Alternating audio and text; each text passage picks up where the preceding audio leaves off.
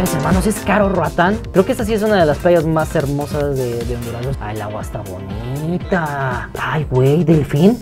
¡Cállate el hocico! Porque aquí puro gringacho. Bien, Señores, señores, ¿cómo están mis aleros hondureños, mis aleros catrachos? Sean bienvenidos a un nuevo video. ¿De qué vamos a hablar el día de hoy? Resulta ser, mis hermanos, que durante las últimas ocasiones en las cuales he conocido a personas de, de Honduras, catrachos, preguntándoles sobre destinos a los cuales nos recomiendan ir, generalmente siempre es una constante que te digan Roatán. A mi gusto se ha convertido en uno de los puntos o de los lugares más visitados de, de Honduras y de los que generan más interés al menos en el turismo extranjero. Así que es por eso que el día de hoy quería ver con ustedes esta serie de, de videos en los cuales vamos a conocer un poco sobre esta zona. Y vamos a comenzar con este video que me llamó mucho la atención el tema. Y es que dice Honduras, el país más paradisiaco en Centroamérica. Esto eh, evidentemente en el canal de mi amigo Felo TV. Recuerden que siempre se los dejo en la parte de la descripción. Vamos a comenzar rápidamente y ustedes pongan en la parte de los comentarios cuáles creen que sean los tres destinos imperdibles de Honduras. Listos, comenzamos rápidamente en 3, 2, 1. Está ubicada en el istmo centroamericano,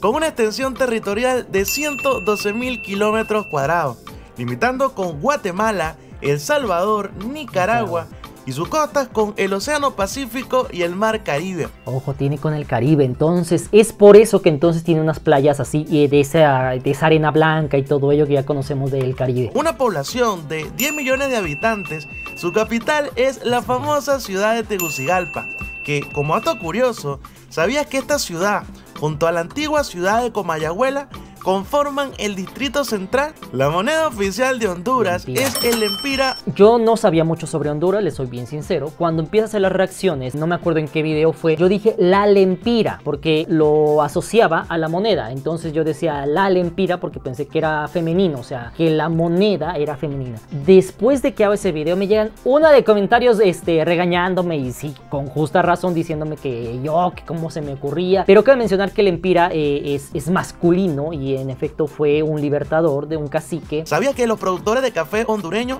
han logrado posicionarse en el ranking mundial en la quinta posición? Siendo así todo un orgullo y logro para Honduras. He probado el café mexicano, el café colombiano, el café eh, guatemalteco. No he probado el café hondureño. Sería interesante ver cuáles son las diferencias, porque sí sabe diferente. ¿Sabías que a los hondureños se les conoce popularmente como Catrachos. Si bien el gentilicio de los Que catracho viene por un cacique también.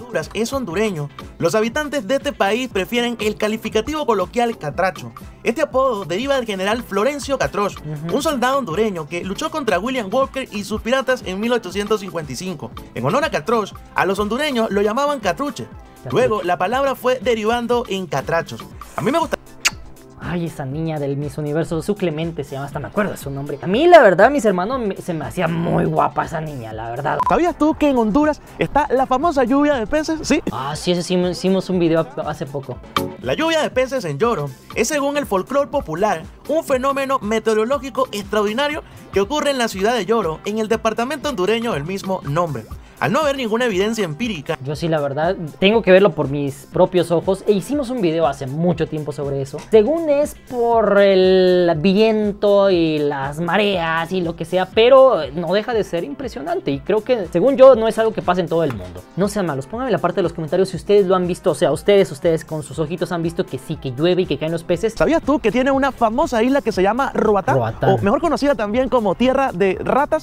Ah, sí, sí, si sí. bien la mayoría de los nombres de los pueblos y ciudades de Honduras son de origen indígena, Mm. esto no aplica para el archipiélago de. Roatán, el cual proviene de idiomas extranjeros, ya sea de aquellos que ocuparon las tierras o de la interpretación que muchos hicieron al no entender la lengua. Mm. Se dice que después de desalojar las guardias coloniales, los primeros piratas ingleses que ocuparon la isla se sorprendieron de ver a otros habitantes tan usurpadores como ellos. Al ver la cantidad de ratas que Mm. invadían el territorio, los piratas exclamaron Raglan, que en español significa tierra de ratas. ratas. Se cree que la degeneración de esta frase derivó Mm. el actual nombre de esta isla. Catrachos y catrachas que me están viendo desde cualquier parte del mundo, necesito su ayuda para responder el significado de las siguientes palabras hondureñas. La primera es qué macizo. Qué macizo. Oh, sí, ahorita que estuvimos con Shine, había amigos que venían con él. Decían, qué macizo. Y, y no sé, le quiero entender que es como, qué chido, algo así. Le entiendo, no sé, no sé. Si hablamos de comida, tienes que saber que el plato típico de Honduras, Baleadas. la variada. Sí, ya, ya- ya sabemos, ya. Ya me la sé.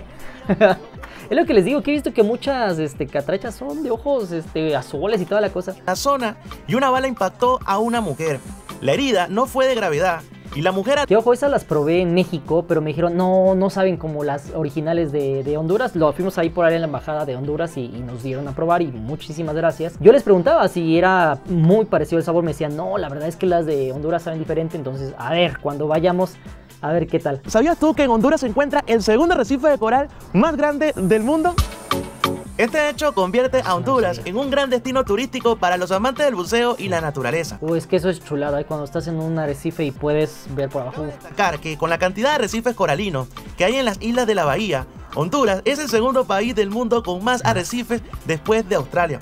Asimismo, el primero está en Australia y como dato curioso, el sistema arrecifal mesoamericano se extiende a lo más largo de mil kilómetros desde las costas caribeñas de Honduras, México, Guatemala y Belice. Sin duda, este dato curioso te va a sorprender. ¿Sabías tú que Honduras es el segundo mayor exportador de tilapia hacia Estados Unidos? Tilapia. Llegando a producir anualmente más de 50 millones de dólares. Ay, güey.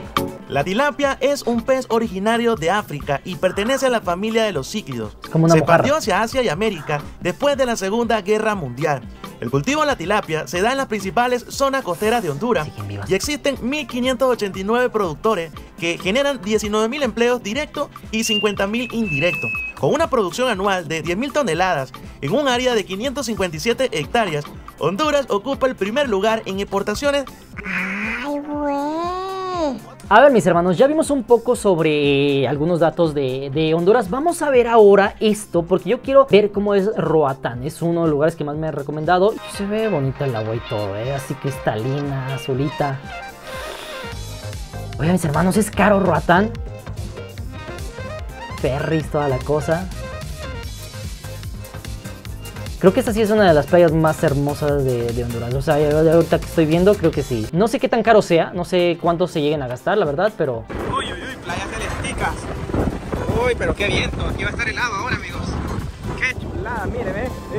sí se ve. No, hombre, amigos, qué felicidad. Tengo mucha duda que si es caro o no es caro, o sea, cuánto te puedes gastar en, mira, Petrosur, algo así decía.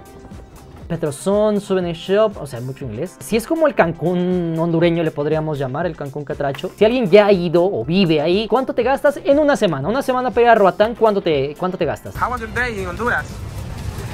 Long, long bus ride to get, to get here. Long bus ride, a long ferry to get here. So This country is really big. it seems that way. Yeah. It seems that Uh, way. yeah. I, think it was going to take Son long. It's unos grandes caminos, amigos, aquí que hay que recorrer horas y horas. Como, like a USA. Not quite that big. Sí, Güey, tenemos que saber hablar inglés para ir a Ratán. Centro de inglés puede, imagínate. 50% puede. ¿Con un 50% de inglés ya puedes ir a Roatán? Creo que sí puedo. Si no, díganme quién me acompaña porque... Plagado de gringos, miren, ve. Ah, mucho Gringos gringo. jóvenes y, y viejitos. Pero está chivo, está acá chimbón. Está chivo, ah, o sea, es del Salvador, eh. Estamos en West End. Ahí está. Qué recio. Ojo, no me gusta mucho el calor, les he de admitir, pero lo que es playa, sí. Las playas me encantan, la verdad yo sí soy de alma playera, la verdad. Si por aquí hay algunos hermanos catrachos que evidentemente vivan en Roatán o ya hayan ido a Roatán, que me pongan en la parte de los comentarios, por favor, ustedes qué lugar nos recomiendan. O sea, que digan, mira, ven a Roatán, pero ven a este lugar, ven a este, ve a tal, esto es lo mejor, aquí está la mejor vida nocturna, las mejores playas, el mejor hotel, tal. Mm, Vente a este lugar para conocerlos. Y la comida, los mejores lugares de comida. Y miren, Ah, el agua está bonita. Cristalina, no hay oleaje. cámara. No pasa nada, ¿verdad? No, no pasa nada. Miren. Se ve muy tranquilo, ¿eh? no se ve así. O sea, hay muchas playas que, que llegas y está así. O sea, la gente, lo- los trabajadores ni caso te hacen porque está así. Y esta la veo tranquila. Está en ese aspecto muy tranquila. Tú puedes ir y puedes disfrutar. Y la gente te hace caso porque no hay mucha gente que esté ahí. Ay, güey, delfín. Cállate el hocico. No manches, eso no lo he visto en otros lugares. Bueno, no sé si esté suelto, o sea, en el mar o sea como un, una área reservada, no sé. Pero mira, ahí están los bungalows. Que ojo, eso me ha tocado verlo en otros lugares que son muy bonitos para ir. De. Ah, la área exclusiva. Está chida, tío. Este se ve muy gringo el lugar, o sea, como que sí está de estar caro. Tengo ganas de quedarme en uno de esos, eh. Ojo, por ahí hace como unos dos años estuvimos en un lugar parecido. De hecho, estábamos cerca de Honduras. Y, este, y yo quería quedarme en un lugar así, pero ya había apartado en otro lugar, ya no se pudo. Pero para la otra estaría chido llegar a un lugarcito así alejado, cerca de la naturaleza, generalmente son más caros. Pero pues yo creo que va a estar chido. Hasta 600 dólares la noche, para que se hagan una pequeña idea, pero 600 dólares la noche, cállate los hocico, es mucho dinero. Sí, lo que les digo, o sea, como que son caros, por lo mismo llega mucho estadounidense. porque sí, hay lugares bien exclusivos, como les digo, y los gringos sí vienen bastante a estos lados, y son los que prácticamente, prácticamente mueven el turismo, Sí, es que traen billete. marco turístico. Mira. No, pues sí están bien acompañados, papá. Uy, pero esos, esos están. Yo creo que es como una pequeña reserva, creo, mira, porque tienen creo que unas redes. Interesante. Miren qué, qué chivo llega el sol este bicho aquí. bien galán haciendo una llamada de Roatán. Videollamadas de Roatán. Así voy a hacer un directo ahí en Roatán cuando vayas. Sí, mira, en directo desde Roatán, eh, estaría chido. Porque aquí puro gringation viene, gringation viene Puro por estos lados. Pero nosotros pues también venimos acá, miren por ahí, puro piel roja, miren. Mira, vas Bueno, por no tu tanto, sí, miren, Como no, puro gringo acá. Mire qué chivo está. Así, así que bueno, vamos a caminar, miren, yo ni siquiera... Arena blanca, eh. Porque está muy chivo todo esto. Y vamos a pasar, uh, mira qué hermoso. Qué clarito el agua, de verdad. Así que está impresionante, ¿verdad, Darlene? Qué Mira, ve. un sueño hecho realidad andar en estas aguas cristalinas. Porque primera vez en la vida que nosotros venimos a conocer acá y sí nos llamaba la atención venir a conocer. Es que sí se qué está bonita. Sí, hombre. Miren aquí la gente. Y ojo, esto, eso como está en el Caribe, ahí los amaneceres deben de ser chulada. Y los mejores atardeceres están en el Pacífico, en el lado de Acapulco y todo eso. Qué original. Mire, qué clarito. Sí, las playas del Caribe es otra cosa. Acá. ¿Cómo? Sin ginas es de andar. Que creo que ellos son del Salvador y creo que en El Salvador sí tienen muchas playas, pero creo que no hay, eh, creo que no hay playas así como esta de arena blanca, agua cristalina, creo que no hay. Bueno, un día. Primero Dios. Un día, una semana completa por estos lados. ¿Cuánto costará? Tengo curiosidad cuánto costará. Guáchese.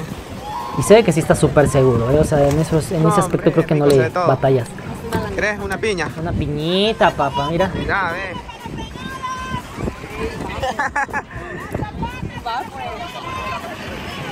Ella sí que sabe. Cabal. Cabal, dice por acá. Y ojo, en todo Centroamérica se habla muy parecido. Está caliente, no está helada. Ojo, sí es que las aguas del Caribe son tibias y aparte no tiene oleaje, mira, no es como, como otras playas que llega. No, aquí está. Tranquilo. Y ojo, veo mucho turismo local, o sea, veo, veo mucho turismo de, de propio Honduras. Eso es algo interesante también. Bueno, de Honduras o de misma Centroamérica, no sé, pero y también no sé qué fecha lo hayan grabado, porque de repente en Centroamérica tienen su época de, de vacaciones. Es como cuando haces una tortilla con requesón y la abrís y le echas el requesón adentro. Es todo. Pero eh, a veces la arepa lleva carne o algo así. Y sí son bien gordas. Las arepas son súper gordas. Sí, son pero son buenas. Yo las he comido. Allá en El Salvador hay un lugar que se llama La Embajada de la Arepa. Y venden mucha arepa. También los atardeceres en el Caribe son chulada. Parece una Ahí está inmensa piscina, amigos. ¡Wow! ¡Qué chivo! Qué chido, dice. Cada vez más celestito el agua. Que debe de haber algunas playas que, eh, que son más exclusivas, quiero pensar. Entonces ahí yo creo que debe ser muchísimo más caro. No sé cuáles sean las playas más, más exclusivas, las que menos gente va, las que más gente va, etcétera. Mira una foto ahí, papá. Ya urge la viajación. Sigue así un poco más la playa.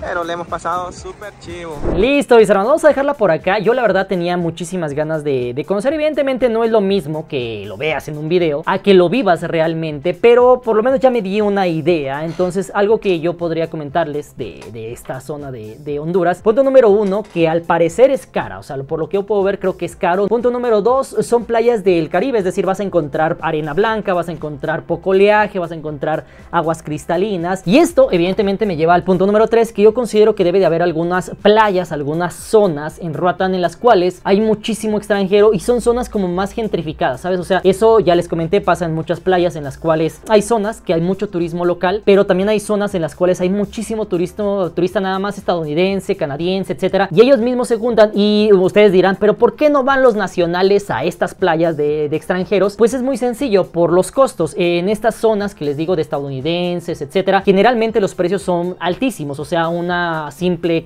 chocita sí te cuesta mil dólares, por ejemplo. Pero ustedes pongan en la parte de los comentarios si ya han ido a Roatán, cuánto es lo que se gasta más o menos en una semana, qué lugares nos recomiendan conocer en Roatán y cuál es la playa la que ustedes dicen, esa es la, la más hermosa, la que está cristalina, la que te recomiendo. Cuídense mucho, por favor. Recuerden que no importa si es en Roatán, si es en Copán, si es en Tegucigalpa, si es en San Pedro Sula, lo importante, mis hermanos, es que las catrachas están bien guapas y nos vemos para la próxima. Buena vida. Chao.